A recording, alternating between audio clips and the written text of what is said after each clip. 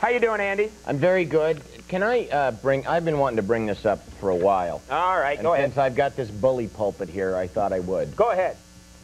I don't care where Candice is. Uh, you know, I really don't. And I, I seriously doubt that anyone else does. You don't care where Candice is? No. I'm, I'm sorry. I, didn't realize how much money they spent on those commercials? I know, but it's just like, like people sitting around talking about where's Candice. I'm sorry, I just don't buy it. You sicken me. Gee, are they a sponsor? Can someone find out if they're a sponsor? Sponsor? You know, our only sponsor is Chuck E. Cheese.